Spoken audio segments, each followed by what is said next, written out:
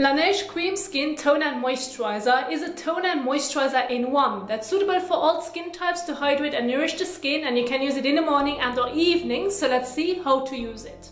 Cleanse your face with your favorite cleanser. Then gently pat your face with a clean towel to remove any water droplets from the skin's surface. This ensures that the product can absorb well. Next, dispense about a coin-size amount of toner onto the palm of your hand.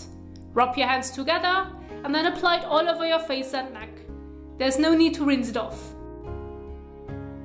Now you can leave it as it is, so follow with your favorite essence, serum, moisturizer and sunscreen during daytime. I hope that you enjoyed this video. Don't forget to like and subscribe and I will see you on my channel. Happy skin caring!